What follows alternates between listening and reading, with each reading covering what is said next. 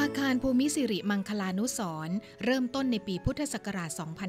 2550 อันเป็นปีมหามงคลที่พระบาทสมเด็จพระบรมชนากาธิเบศรมหาภูมิพลอดุลยเดชมหาราช บรมนาถบพิตรทรงเจริญพระชนมพรรษา 80 พรรษา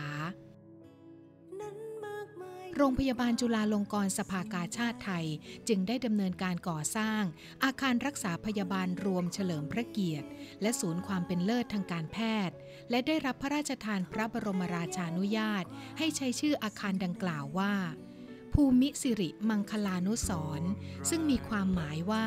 อนุสร์ที่เป็นมงคลของสองพระองค์ ตั้งแต่วันที่ 11 พฤศจิกายน 2552 ซึ่งอาคารภูมิสิริมังคลานุสรเป็นอาคารที่รวบรวมบริการทางการแพทย์ที่ครบวงจรภายในตึกเดียว หรือ one stop service ด้วยการบริการแบบพรีเมียม หรือบริการด้วยคุณภาพระดับสูง ผ่านวิสัยทัศน์ จุดเปลี่ยนแห่งมิตรภาพ การบริการสุขภาพของคนไทยทุกชนชั้น สู่มาตรฐานสากล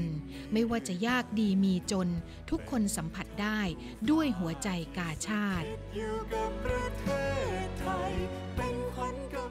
อาคารดังกล่าวมีมูลค่าการก่อสร้าง เครื่องมือและเวชภัณฑ์ทางการแพทย์ เป็นเงิน 16,500 ล้านบาท ใช้เวลาดำเนินการก่อสร้างนาน 5 ปี ตั้งแต่ปี 2551 ถึง 2555โดยเป็นอาคารสูง 29 ชั้น มีพื้นที่ใช้สอยรวมทั้งสิ้น 224,752.25 ตารางเมตร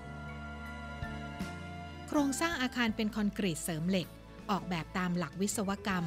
โดยเน้นความปลอดภัยสูงสุด และมีการออกแบบโครงสร้างพิเศษเฉพาะจุดสำหรับการใช้งาน เช่น ห้องกันรังสี ห้องเอ็กซเรย์ รวมทั้งระบบป้องกันอัคคีภัย ผนังอาคารมีความหนาเป็นพิเศษ และช่องทางหนีไฟในส่วนของโซนต่างๆ กั้นด้วยผนังที่ทำจากแผ่นความร้อน หากเกิดเหตุไฟไหม้จะป้องกันความร้อนได้ทำให้มีเวลาในการอพยพคนในอาคารออกไป ได้นานถึง 1-2 ชั่วโมง โดยที่ตัวอาคารจะไม่ถล่มลงมาเป็นอันตรายขณะอพยพ มีระบบลิฟต์ภายในอาคาร 45 ตัว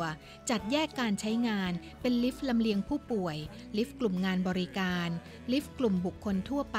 แพทย์ พยาบาล และลิฟต์สำหรับขนส่งสิ่งสกปรก อาคารภูมิสิริมังคลานุสร์ประกอบด้วย2อาคารที่เชื่อมโยงถึงกัน คืออาคารศูนย์ความเป็นเลิศทางการแพทย์ที่มีทั้งหมด 13 ชั้น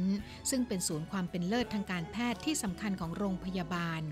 โดยปัจจุบันมี 26 ศูนย์ และเชื่อมต่อกับอาคารรักษาพยาบาลรวมเฉลิมพระเกียรติเริ่มกันที่ชั้น B1 ถึง B4 เป็นชั้นใต้ดินที่เชื่อมโยงกับอาคารศูนย์ความเป็นเลิศทางการแพทย์ จัดให้มีที่จอดรถสำหรับผู้มารับบริการจำนวน 430 คัน ชั้นที่1ถึง13 เป็นหน่วยอุบัติเหตุ ฉุกเฉิน ห้องผ่าตัดขนาดใหญ่แผนกต่างๆ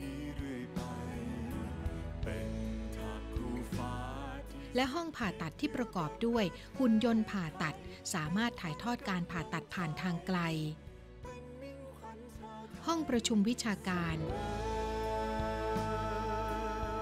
ห้องเรียนของแพทย์ ห้องคลอด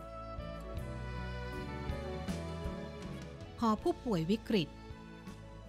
เครื่องเอ็กซเรย์ MRI จำนวน 4 ห้อง เครื่องเพชรซีทีเพื่อให้การบริการครบวงจรภายในอาคารเดียว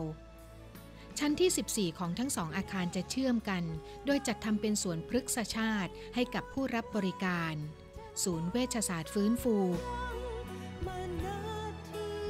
และส่วนบริการทางศาสนาทั้ง3ศาสนา คือพุทธ คริสต์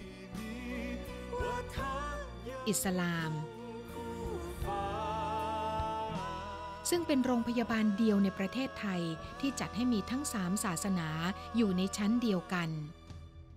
ชั้นที่ 15-28 เป็นส่วนของหอผู้ป่วย ที่สามารถรองรับผู้มาใช้บริการได้จำนวน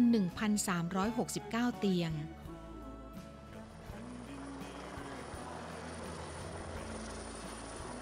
และชั้นดาดฟ้าเหนืออาคารเป็นลานจอดเฮลิคอปเตอร์ และนี่คืออาคารภูมิสิริมังคลานุสรณ์อาคารที่มีการบริการผู้ป่วยที่ได้มาตรฐาน และมีประสิทธิภาพที่ใหญ่ที่สุดในอาเซียน อีกทั้งตอกย้ำวิสัยทัศน์ของโรงพยาบาลจุฬาลงกรณ์ที่จะเป็นสถาบันต้นแบบทางการแพทย์ที่มีคุณธรรม ด้วยคุณภาพมาตรฐานระดับนานาชาติ อาคารภูมิสิริมังคลานุสร์ประวัติศาสตร์อันยิ่งใหญ่ แห่งการรวมพลัง รวมใจ